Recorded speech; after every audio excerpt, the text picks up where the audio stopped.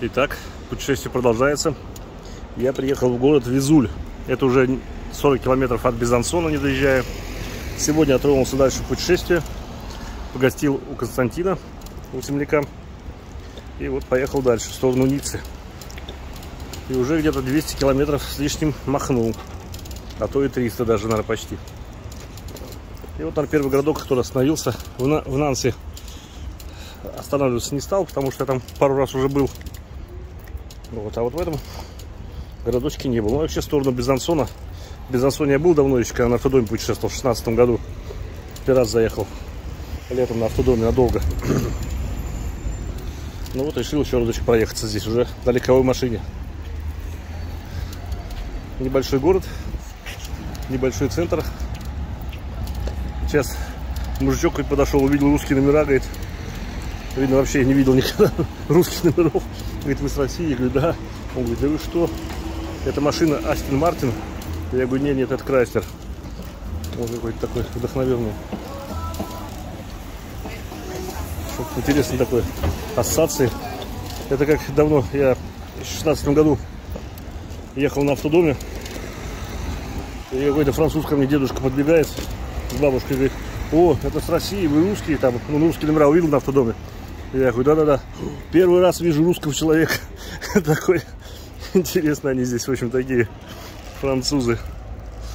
Вот, здесь тоже так же. Ну, разговаривать сложно, потому что он кроме французского ничего не знает. Даже говорю, speak English, он не понимает даже, в чем дело. Вот, поэтому здесь так... Ну, город такой прям не туристический, как я понял. Такой прям местечковый. Именно сюда мало кто заезжает. Без Азон-то, наверное, заезжают туристы. А сюда вообще, я думаю, мало кто заезжает. Ну, какая красота здесь, друзья. Опа, чистая-чистая вода.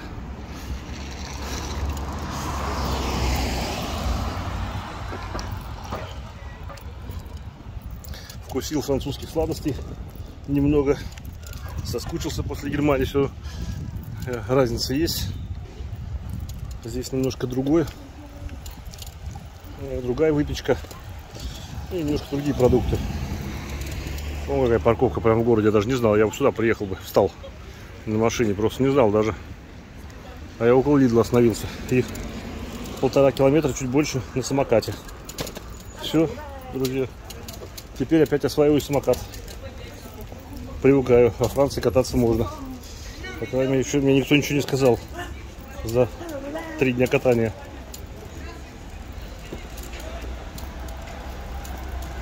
Такой небольшой центр. Он, видите, неспокойно он катается. Вот он уже едет на самокате. Вот у него тут тоже номера нету. Ну, здесь только задний отражатель есть. У меня просто он сломался. Вместе с крылом.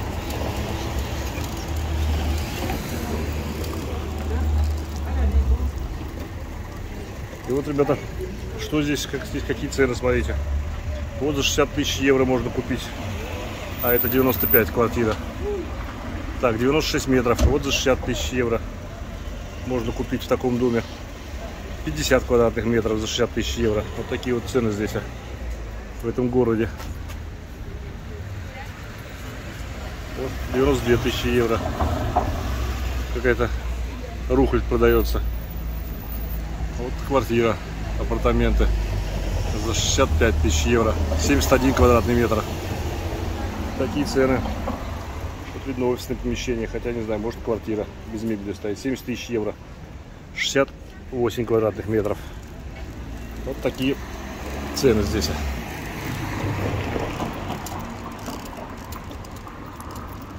Уже подешевле, чем в Люксембурге.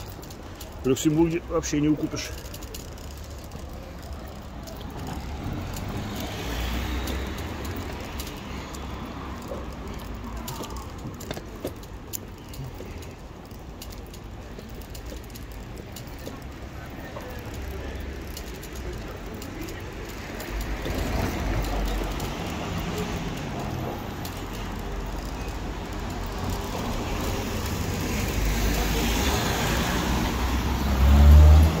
Fechou is que?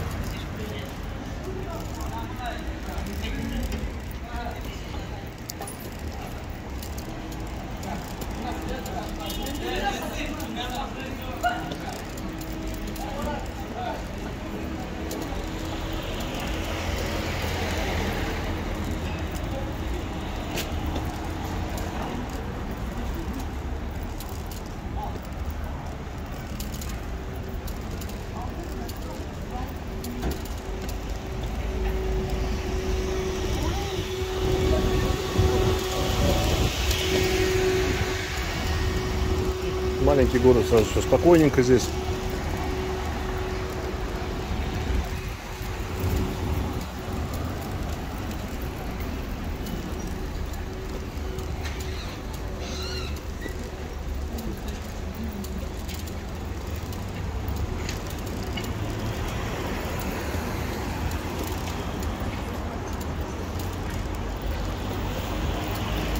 Вот видите, на самокатах есть. Никаких номеров нету. В Германии все гораздо жестче. Блинчики пекут с шоколадом.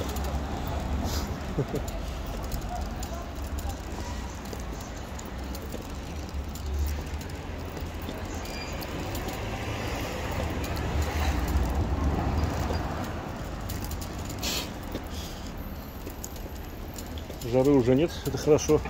Но на солнце еще пока жарко.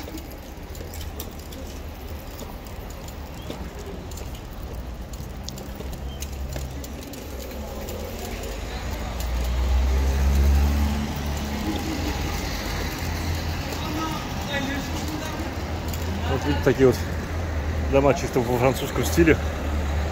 Такие ободранные.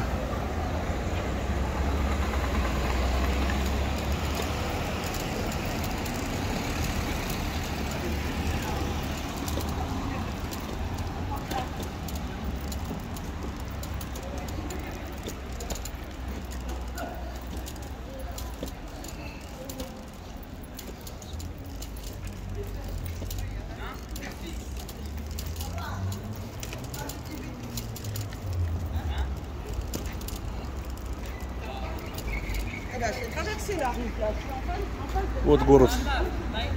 Лесу. Центральное видно самое место здесь. Деревом обитое.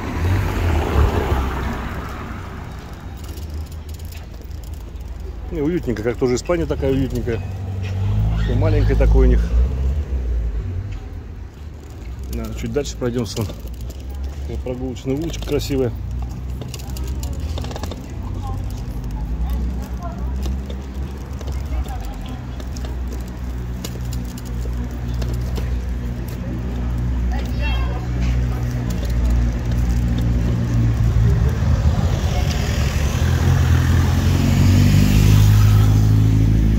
Прям машины разъездились.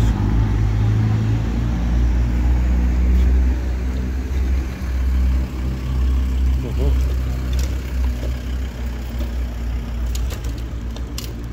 Вот туда идет улочка. Вот это какая-то более центральная. Где какие тут лампочки висят с листиками. Такие лампочки большие. Это как называется? Лампа Ильича висит, что ли? Такая мощная.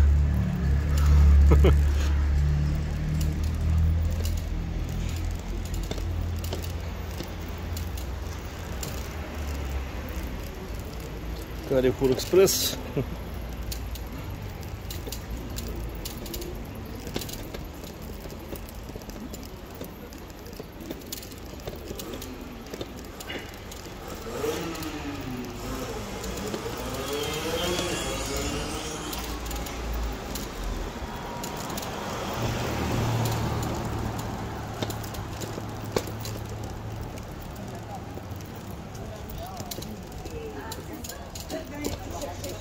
qui va pas être bien, que lui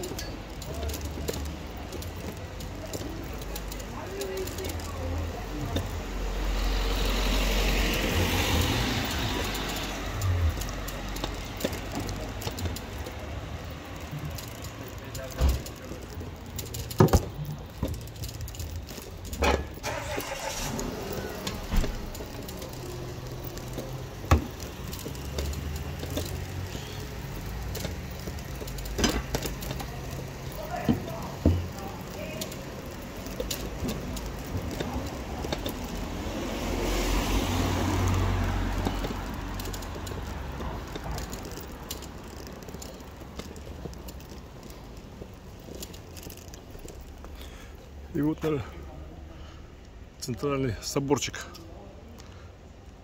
Какой-то, наверное, я уже догулял. Весь город прошел. Вот такой Мейсон-Ду туризма. Вот туристическое мес- место. Вот. И все. Всем хорошего дня.